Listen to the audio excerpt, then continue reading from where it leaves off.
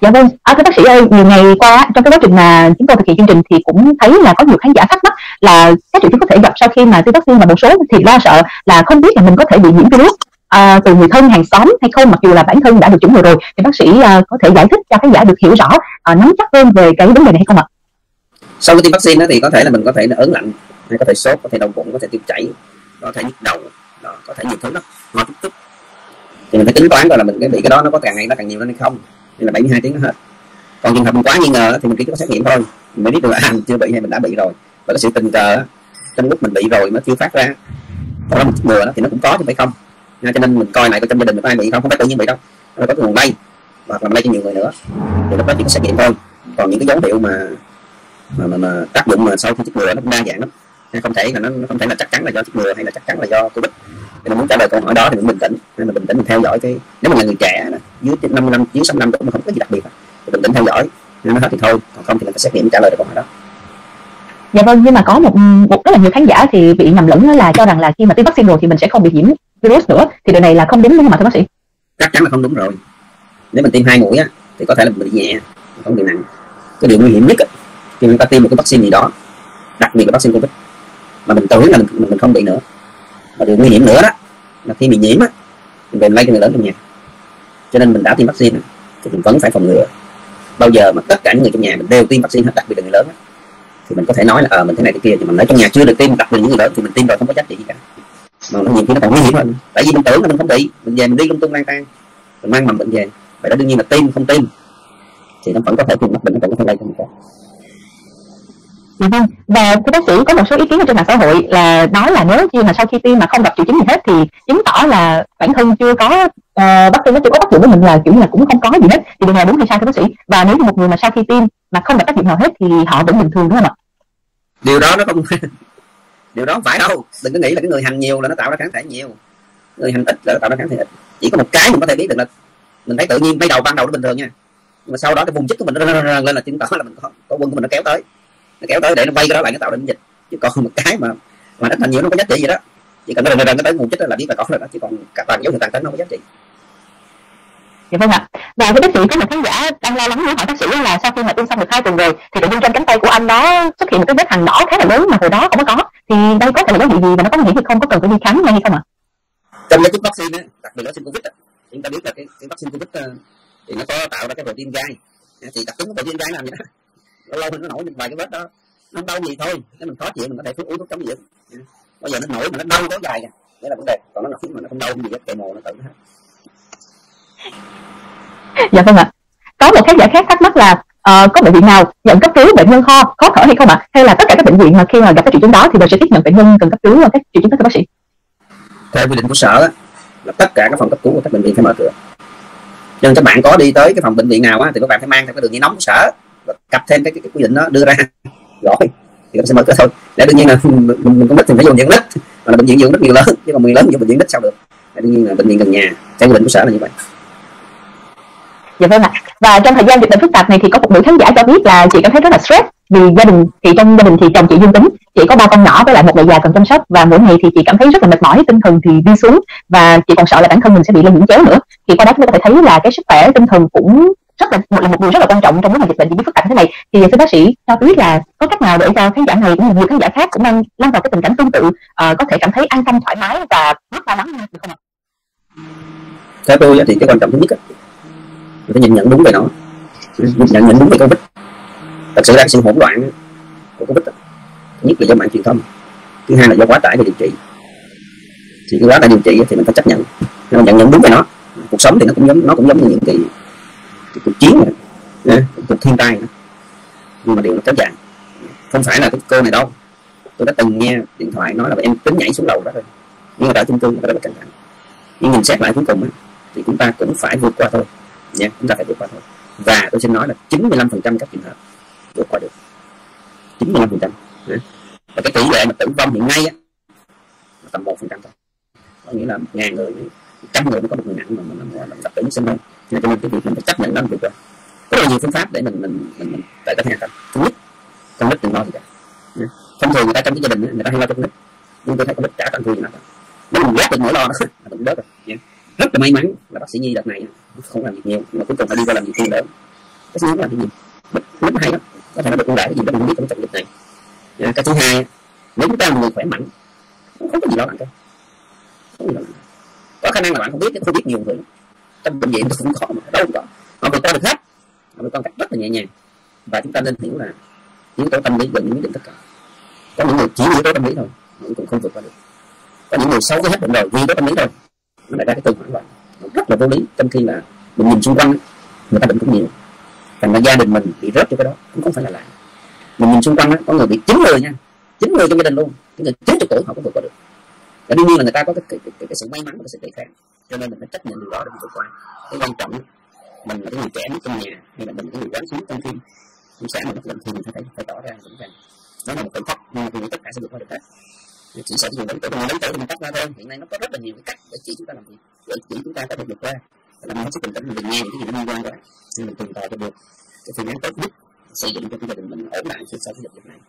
Và tôi nghĩ rằng chúng ta chúng ta nghe ấn độ đúng không đó ấn độ cũng ra chúng ta tự nhiên trong âu là trong mỹ là nam mỹ không cũng từng ra rồi chỉ cái gia đình thấy ra thôi không bạn đừng có lo lắng đúng là cái chuyến cấp lực nhưng chúng ta không có tận nào khác chúng ta cân bằng Dạ thưa bác sĩ Trương Hữu Khanh có một khán giả ở khu vực quận 8 thắc mắc là ở nhà có bé nhỏ dưới một tuổi nếu sử dụng cồn kháng khuẩn thì có an toàn cho bé hay không và đối với các bé thì việc giữ vệ sinh an toàn với dịch bệnh thì nên được thực hiện như thế nào ạ?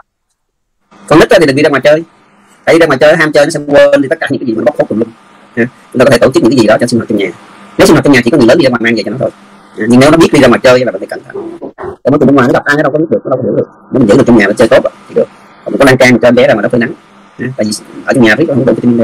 Còn cồn thì không gì đó, không gì đó cồn mình cũng rửa tay bình thường thôi nhưng mà ít thì nó rửa tay xà phòng thì nó tiện hơn nó ở trong nhà còn là gì còn hay là nước phát trong tay nhiên là gì khi mình không thể rửa kịp bằng cái xà, xà bông ví dụ mình đang đi ngoài đường xà bông đâu mình rửa nước trong mình rửa thì mình có rửa xà bông nhanh còn về tới nhà thì rửa, rửa, rửa xà bông là số 1 không có gì hơn xà bông dạ vâng ạ à, một khán giả có uh, có tên là Nguyễn Thảo Nguyên qua Facebook có hỏi là em muốn hỏi có thai 20 tuần muốn lỡ nhiễm và điều trị tại nhà thì uống thuốc gì được ạ? À? Em đã tiêm ngừa được 4 ngày thưa bác sĩ. Có thai 20 tuần thì nó cũng sẽ giống như những người bình thường thôi. Tuy nhiên sốt chịu thuốc sốt, đau chịu thuốc đau tất cả những cái thuốc ho rồi kia đó chúng ta nên mua những cái bài thảo dược vì nó làm tỉnh hơi cho cái thai nhi còn thuốc paracetamol hay là thuốc giảm đau ibuprofen là chứng minh là uống cho cho gì được có hay được tin vaccine là uống được cho phụ nữ mang thai còn mình 20 tuần mình lo cái gì? Lo là lo đó. Mình không đủ nước, mình uống ít nước quá. Lo là lo, mình ăn không đủ chất. Tại mình không ăn đủ chất thì chắc chắn là em bé nó sẽ nhỏ cân. Ăn thiệt thòi cho nó. Còn mình lo là lo là mình suy nghĩ nhiều quá, mình không ngủ được. Nè suy nghĩ nhiều quá, mình không ngủ được. Thì mình sẽ ảnh hưởng tới cơ thể mình là hưởng đến bé. Cho nên hết sức bình tĩnh mình chờ đợi. Mình chờ cái gì? Thứ nhất là miễn sao mình đừng khó thở. Mình khó thở thiệt nha. Có như mình gắn cái máy đo nồng độ oxy trong máu mà thấy nó thấp, thì phải liên lạc y tế ngay. Y tế ngay. Hoặc là mình có một cái phương pháp gì đó để mình cải thiện cái phần oxy thấp đó, một cái tập thở hay là mình đo oxy tại nhà, một cái máy đo oxy rồi rồi nó cũng qua thôi không phải cái nguy cơ của người người mang thai á, là có nhưng không phải tất cả đều nặng nên mình cũng phải chờ đợi và theo dõi sức khỏe của mình Dạ vâng, và liên quan đến việc uh, thuốc thì có một khán giả ở huyện Bình Chánh uh, cho biết là nghe thông tin từ Sở Y tế Thành phố Hồ Chí Minh là đưa vào sử dụng thuốc uh, Dexamethasone 0,5 mg trong điều trị Covid-19 và uống một lần đến 12 viên. Thì khán giả này muốn biết là cái thuốc này thì có tác dụng gì và uống cái số lượng nhiều như vậy thì có đúng hay không ạ? Ở thế giới á, người ta nghiên cứu cái Dexamethasone này lâu rồi. Hồi đầu năm ngoái á, thì thấy nó rất là tốt. Nhưng mà bình thường thì nó đóng cái ống, cái ống chích đó, cái ống chích nó 1 mg, 1 tới 4 mg, thì nó chích khoảng 6 mg nhưng mà khi người ta xài thuốc viên thì nó có 0,5 thôi. 0,5 là 6 viên nó ra thành 6 được. À, tại cái liều lượng nó đóng thấp vậy thôi chứ còn 12 viên trả lại cái định gì cái cơ thể của mình. Và đặc biệt là uống nó chỉ có 5 ngày 5 tới 7 ngày thôi. Nó có những cái viên thuốc khác tương đương. Thì nó ít ít viên thôi ví dụ nó là có một viên thôi micron như đó. Nhưng mà nghiên cứu ban đầu thì thấy dexamethasone nhưng mà những thuốc tương đương khác nó cũng được thôi. Cho nên mình có cái gì mình xài cái đó. Nhưng khi mình quyết định xài cái này là phải có chỉ định phải có chỉ định. Tại vì nếu mà không có chỉ định mình uống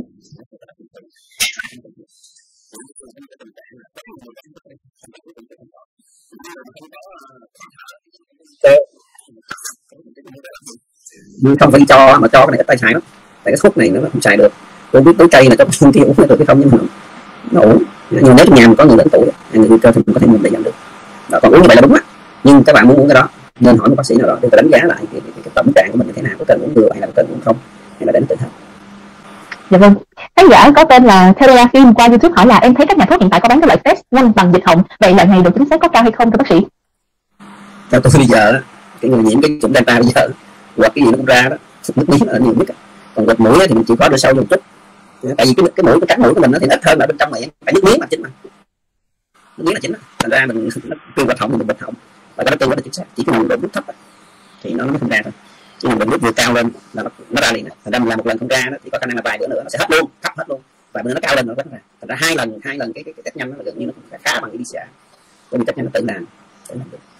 À, một khán giả có tên là Đăng Thị Nguyện hỏi lên chút là cho em hỏi bị nhiễm Covid-19 và bắt đầu có triệu chứng thì thời gian bệnh nặng lên. Và có hỏi là khoảng bao nhiêu ngày ạ? À? nếu mà mình là cái người bình thường á thì thời gian nặng khoảng từ 5 tới 5 tới 8 ngày nha. một số trường hợp khác thì nó có thể tới 10 ngày. Và sau đó nó hết thôi. Nhưng nếu mình là cái người rất là nặng á, mà mình phải viêm phổi rồi mình thở máy á, và khi thở máy thì nó rất là dễ bị nhiễm. Sau đó virus virus covid không làm gì mình hết. Nhưng mà những cái phản ứng của cơ thể mình cộng như là mình bị nhiễm những cái vi khuẩn ở môi trường xung quanh đặc biệt trong bệnh viện có thể là mình nằm kéo dài cả tháng. Thành ra cái điều trị covid nó không phải là quá khó trong giai đoạn đầu nhưng mà khi nó nặng nó sẽ chiếm cái giường đó. Và chiếm cái giường nó dài quá thì không có giường cho người khác sợ khó khăn của covid là như vậy. Đa số là nó như vậy thôi chỉ có những người viêm phổi có thể sợ rất là lâu. Dạ vâng. Một khán giả có tên là nhân thành la qua facebook hỏi là em có người nhà ở bên mỹ gửi cho loại thuốc ờ, uh, andrographis Caniculata chiết xuất từ lá xuyên tâm liên hàm lượng là 100 mg một viên hoặc chất chính là andrographolis hãng hóa 100% có thể sử dụng là uống 200 mg một ngày thì như vậy em uống được hay không ạ? À? cho hiện nay thì tôi tin cái thuốc này. Nhưng mà không biết mình uống cho nó có hại gì không thì không biết. Chứ còn tôi được tại vì thuốc đó, nó phải có, có, có thử nghiệm lâm sàng. Nha. Việt Nam mình cũng chế được xuyên tâm liên hay đâu mình đi. Còn tôi Mỹ làm gì? Mà không biết là cái sản xuất được cái kiểu gì. Nhưng về lý thuyết mà xuyên tâm liên nó chỉ là một cái kháng sinh thường thôi kháng sinh thực vật cho nên mình không thể biết được nó là như thế nào đâu, cái gì mà thực hiện lâm sàng. Và cái điều mình làm á, cái điều có những nhiều cái phương pháp chúng ta làm, cái nhiều phương chúng ta uống, và chúng ta nói nó hết, không phải vậy. Tại vì bản chất của nó là tự hết còn muốn mình tình cờ vô, mình phải làm một cái lượng lớn là mình biết lại cái này có hiệu quả hay không. Theo tôi thì tôi không, mình, các bạn phải tìm hiểu coi xinamin uống là cái gì cả nếu mình uống mà mình uống cái liều như vậy á, thì nó hại gì cho cơ thể mình là mình hiểu chứ còn cái lợi thì chưa được. dạ thưa bác sĩ, nhưng mà liên quan đến vấn đề về kiểu con nít trẻ em á, thì chúng mình có một thắc mắc là không biết là đối với các bé thì các bé phải có yếu tố như thế nào thì có thể dẫn đến cái diễn tiến nặng và phải đưa vào bệnh viện để chăm sóc. Và vì hiện tại thì chúng ta cũng thấy trên uh, báo đài thì cũng đã có một số trường hợp là các bé kiểu uh, phải uh, được thực hiện phải được thở oxy và thậm chí bệnh viện thì các bé phải có cái tình trạng như thế nào thì mới bị diễn tiến nặng như vậy? Thường thường có những em bé đó là nó có bị cái bệnh nền ví dụ nó chậm phát triển tâm thần vận động cái đường hô hấp nó yếu sẵn. Mấy cái đứa mà nó tờ công tờ queo do bại não chậm tiến thần vận động là nó hay viêm phổi lắm thì lần này có thể nó cũng sẽ dễ đổ nhiễm viêm phổi hơn giống như cái bệnh cảm cúm khác. Thứ hai là cái đứa bé đó là nó phải dư cân lắm bảy tám tuổi mà bảy tám chục ký sáu bảy chục ký là mấy thứ đó là nó hay nặng lắm. Cái nguy cơ nó cao sức đề kháng giảm lắm. Còn lại những em bé khác thì rất rất hiếm ngay cả những em bé mình thấy nó bị suyễn nữa mà nó không chế tốt cân suyễn nó không bị.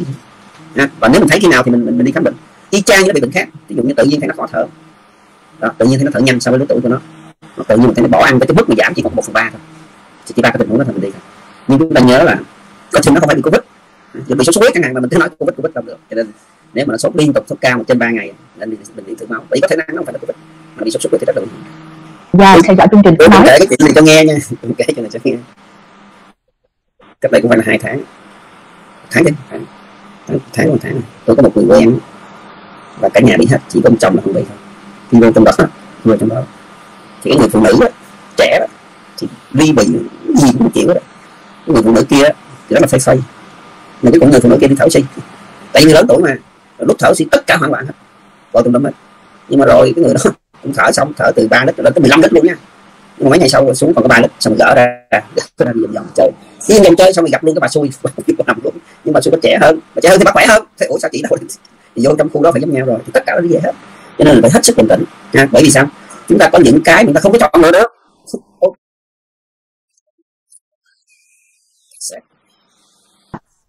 Triết tấm lưng qua Facebook có hỏi là bác sĩ cho em hỏi nếu là mình bị cảm sốt thông thường thì khi đi test Covid-19 có nguy cơ nhầm lẫn hay không ạ? À? Cảm ơn bác sĩ. Cái một năm thì nó nhầm. Cái một năm cũng nhầm. Cái mình tại cái test bây giờ nó toàn tốt chuẩn. Tại lúc đầu nó chưa có đủ nguồn nguyên liệu á, nó chưa có làm được cái test tốt. Nhưng bây giờ hai năm rồi là rất chuẩn, gần như xét nghiệm ra mà hai vạch rất là khó là dương tính giả. Một vạch thì có thể âm tính giả, tại vì nội rất thấp. À, cho nên mình đặc biệt tôi nói thật luôn các bạn, trong nhà tự nhiên ba bốn người bị là nó một người trẻ cả năm nay không bệnh tự nhiên cái này bệnh rất là nó một người trẻ cả năm nay không bệnh mình có đi đâu để bệnh hết ví dụ mình không có vận động quá sức mình không bắt đưa bắt nặng mà mình sùi là cái nào rất là trẻ tuy nhiên nó cũng là bình thường tại vì nó bệnh cảm còn xét nghiệm không làm đâu. Một khán giả có tên là Nguyễn Ngọc Mai hỏi qua Facebook là theo ta cơ sở y tế có hai loại thuốc là Monupiravir và thuốc kháng đông là Pradasa 100 mg hai loại thuốc này có tác dụng gì vậy thưa bác sĩ? Cái Monupiravir là một cái hứa hẹn rất là tốt đó. rất là kỳ vọng vào cái thuốc này. Để tôi đọc tôi biết nha. Cái thuốc này nó có hai cái hay. Thứ nhất là sẽ khống chế cái lượng virus trong cái họng của cái người thuốc thì nó sẽ làm giảm ra nguyên tắc là như vậy. Mình uống thuốc mà cái lượng virus mình khống chế hết trong họng là đâu lây cho người ta. Thì có ngàn con còn hai ba con sẽ lây được. Thì nó sẽ làm giảm đi cái tốc độ lây lây truyền của con virus đó. Thứ hai cái giảm như vậy đó, nó sẽ không có tấn công xuống phổi cộng với sức đề kháng của mình thì cái môn này nếu mà đúng nó tốt như là trong sách nó nói trong những cái đề tài nghiên cứu nói thì có thể nói nó sẽ dẹp được cái dịch này. Cái thứ hai của Radasa đó là cái thuốc chống đông thuốc chống đông thì chúng ta biết đó là trong cơ thể của mình đó, khi mình bệnh covid này, này rất ít các trường hợp là chính cái con virus đó nó tấn công vô phổi mình. Nó xuống phổi, nó làm cho phổi mình viêm luôn. Nhưng mà nó có hai cái cách để nó làm cho mình nặng hơn về phổi, là cái thứ nhất nó làm cho phổi mình phản ứng viêm, mà trong đó có vai trò của mình. Có vai trò của mình á, có nghĩa là nguyên tắc của con vi khuẩn hay con virus á, nó nằm yên trong người mình thôi nha. Mình không làm gì nữa có thể nó không làm gì mình. Cái sinh sôi này nở như vậy. Đặc biệt như người bị lao đi nó nằm yên trong người bữa nay tới đấm nó là có chuyện đó là nhưng mà cơ thể của mình không phải như vậy, cơ thể mình không phải vậy. Mình thấy gì là mình tắt cái quánh này, để mình quánh nó làm gì để mình tạo miễn dịch? Thì khi mình đánh nó quá mức mình sẽ sản xuất ra những cái chất, những chất gọi là phản ứng viên sau đó cái cytokine. À, thì người ta muốn giảm chất đó thì người ta mới cho cái chất dexamethasone đó dexamethasone rồi sau đó trong cái phản ứng viên nó đặc biệt cái con virus này nó lại làm đông máu. Đặc biệt nó đông máu trong cái phổi mình, nó tắt cái mạch là mình thở được. Cho nên người ta mới làm cũng cái thuốc là cái thuốc kháng đông. Có nghĩa là nó không đông máu được, thì nó sẽ không tắt mạch máu phổi. Nó không tắt mạch máu phổi thì nó không làm mình khó thở. Rồi con virus tự nhiên thì hai cái thuốc đó là như vậy. Tuy nhiên cái thuốc Monupiravir thì mình có thể nếu người ta cho mình sử dụng được. Ừ. Đây ờ, cái thuốc kháng virus thì bây giờ nó chế nhiều lắm và nó chỉ có mấy ngày thôi năm ngày thôi trả hàng cho mình, ừ, mình. Nhưng mà cái thuốc đông máu là thuốc kháng viêm là mình không biết là khi nào cần mới xài. Phải cái cần đó là phải cần bác sĩ hướng dẫn. Chứ mình xài lung tung mang tan ví dụ sau đó là cái miễn dịch của nó giảm xuống là nó phiền lắm. Hoặc mình xài cũng đúng là làm chảy máu. Tuy nhiên tất cả cái đó là ta cũng sẽ có năm bảy ngày thôi. Tại con virus này cuộc chiến với nó là chỉ nhiều lắm là 10 ngày thôi nếu mình không bị Dạ vâng. À, một câu hỏi là cuối cùng là rất là muốn chuyển cho bác sĩ cho Được Khanh để trả lời đó là khán giả Việt viêm Công qua Facebook hỏi là nhà em năm người dương tính đến nay qua 27 ngày sức khỏe mọi người đều khỏe cả nhưng vẫn còn hai người dương tính có CT 32,6 và 36,1 vậy thì có cần uống thuốc hay không thưa bác sĩ? Dạ, Chắc là mình, mình, mình ship hàng cho mình ăn mừng người vừa đó. Ship hàng vậy chuẩn bị tổ chức ăn mừng người vừa đó. Tại vì khi mà CT nó trên 30 á là nó có khả, năng khả năng bắt đầu nó bớt rồi đó. Và đặc biệt là CT mà nó từ 33 trở lên là nó hết lay nổi rồi.